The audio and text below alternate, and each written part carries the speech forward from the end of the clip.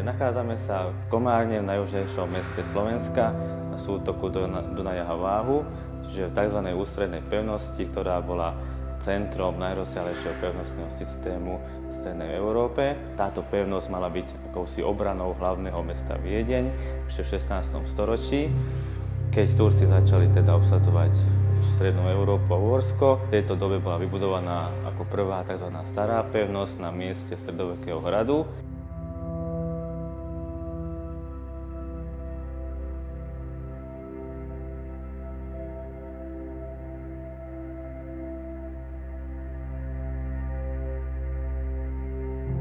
Túto pevnosť dal vybudovať vtedajší panovník Ferdinand I. Habsburský na veľmi výhodnom mieste na sútoku Dunaja Váhu, čiže hneď dve rieky ju chránili.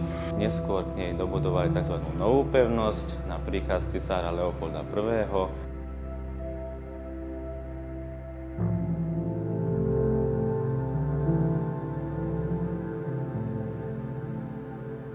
Táto nová pevnosť bola budovaná v 17. storočí a jednak aj kvôli tomu, lebo stará pevnosť bola zastaralá.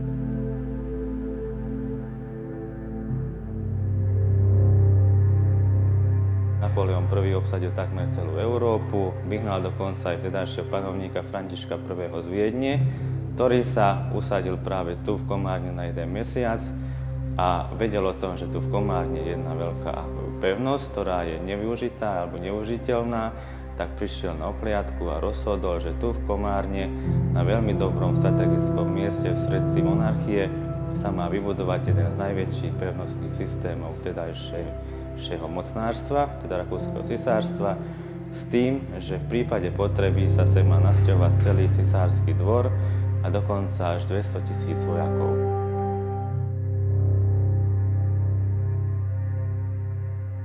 Vybudovala sa obrovská kasárenská budova, najdlhšia budova na Slovensku, má 540 metrov na dĺžku, je v nej 220 miestností a vedela teda ubytovať až 2000 vojakov.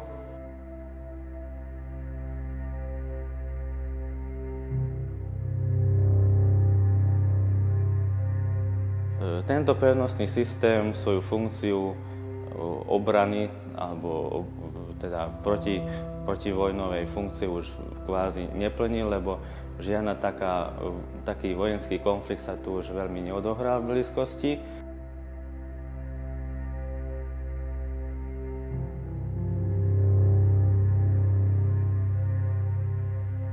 Po prvej svetovej vojne, keď vzniklo Československo, tak sa tento pevnostný systém, ako aj mesto Komárno alebo Komárom, rozdelilo na teda južnú časť na Maďarsku a severnú Československu a hneď pevnosť obsadili československí legionári. Tento stav bol vlastne až do začiatku druhej svetovej vojny, keď sa Komárno, južné Slovensko pripojilo naspäť teda Maďarsku. E, vraj podľa teda dobových záznamov alebo nových vieme, že tu československé vojaci narobili veľa teda neporiadku a, a niektoré časti veľmi poničili.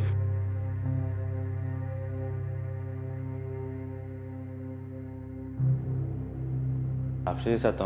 roku, ako iste vieme, tak Československo obsadili vojska Vašajovej zmluvy, a takisto aj pevnosť Komárne obsadili sovietské vojska. E, po odchode tejto sovietskej armády sa pevnosť dostala do veľmi zlého technického stavu, nakoľko títo vojaci neboli veľmi nadšení z toho, že musia opustiť pevnosť a mesto, lebo im to bolo veľmi dobre, sa hovorí. A keď odchádzali, tak čo sa dalo, zobrali so sebou alebo poničili všetky okná a dvere, ktoré boli pôvodne, sa už dneska nenachádzajú, lebo, lebo ich buď zobrali naozaj, alebo porozbíjali okná, zo zúrivosti, taktiež aj parkety z izieb, buď ich spálili, alebo dokonca ešte aj káble či radiátory, čo sa dalo, žiaľ zmizlo.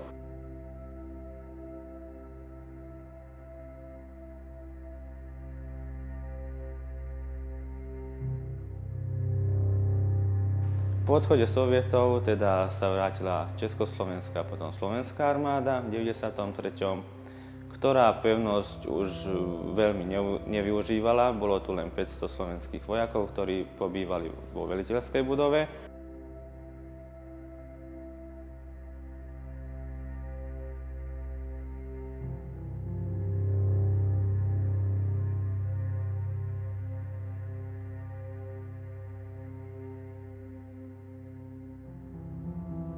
Hovorí sa, že v kasárni bolo oveľa viac potkanov ako samotných vojakov, lebo naozaj tu bol taký neporiadok, že nikto sa o to nestaral.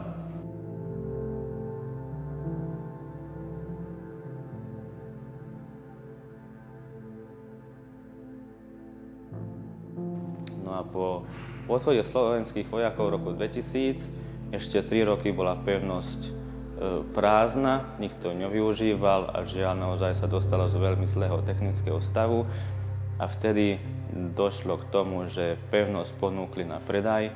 Ministerstvo obrany e, tu malo jedno teda prebytočný e, areál alebo pevnosť, z ktorého nevidelo čo robiť, tak ju ponúklo na predaj.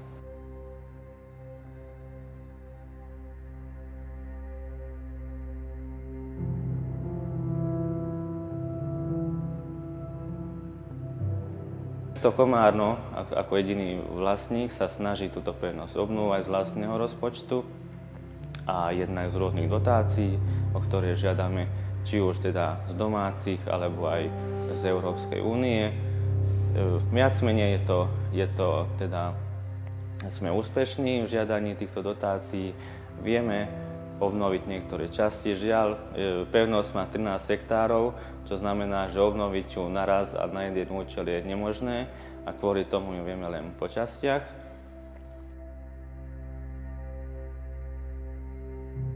Sme obnovili hlavné vstupy do pevnosti, podarilo sa nám opraviť celá strecha alebo strešná konštrukcia kasárenskej budovy, čo je 540 m dlhý krov.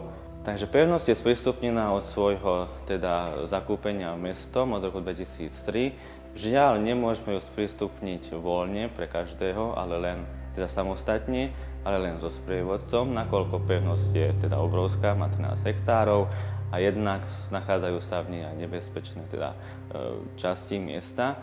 V roku 2023 sme mali zhruba 11 tisíc návštevníkov, z toho veľká väčšina sú školské zájazdy, najmä teda na konci školského roka. Potom sú to rodiny s deťmi počas teda letných mesiacov. V dobách najväčšej slávy vedela pevnosť pojať až 200 tisícovú armádu, no dnes je už len miestom duchov, do ktorého sa nie každý odváži vojsť. Našlo sa však pár odvážlivcov, ktorí sa po malých krôčkoch snažia vdýchnuť opäť život tejto významnej kultúrnej pamiatke.